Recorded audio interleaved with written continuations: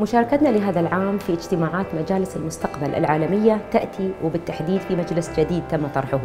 وهو مجلس مستقبل أجندة المساواة والشمول والذي من خلاله سوف تطرح حكومة دولة الإمارات العديد من الأفكار والمبادرات وسيتم مناقشتها على مدى عام كامل مع خبراء عالميين